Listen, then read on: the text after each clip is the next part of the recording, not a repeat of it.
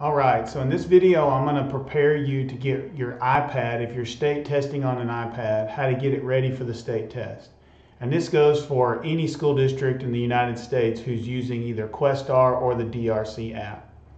All right, so the first thing we want to do is we want to go to the settings on the iPad and then to software update and just be sure your iPad's fully updated, right?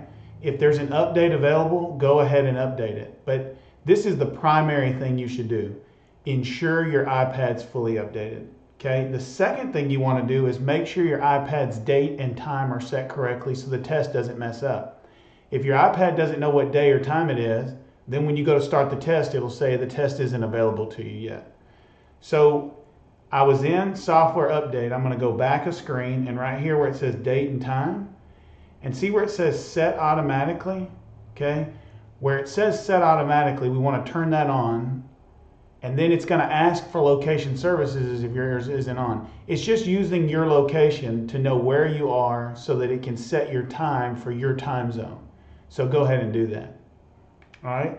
Now the next thing you want to do is find the DRC app and, and hold down on it and delete it.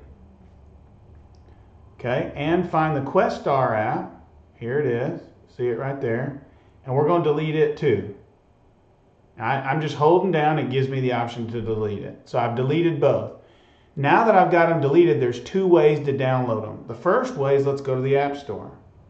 Okay, so I'm going to open the App Store and I'm going to find both of them and reinstall. Okay, so I'm going to go search and I'm going to go to Questar and oop, typed it wrong, but there it still is.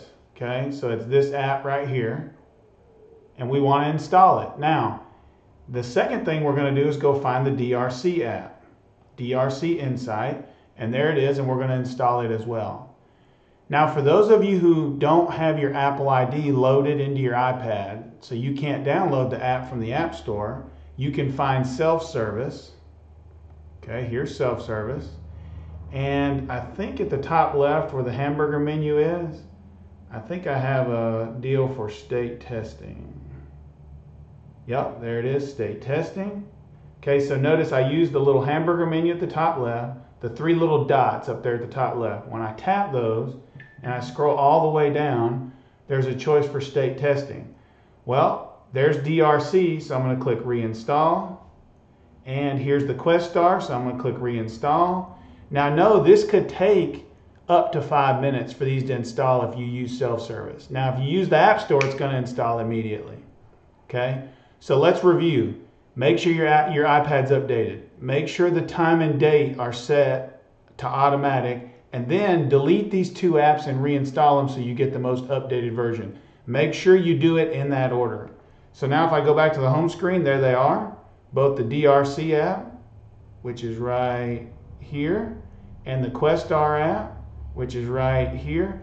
So now my iPad is fully ready to state test. I hope that helps.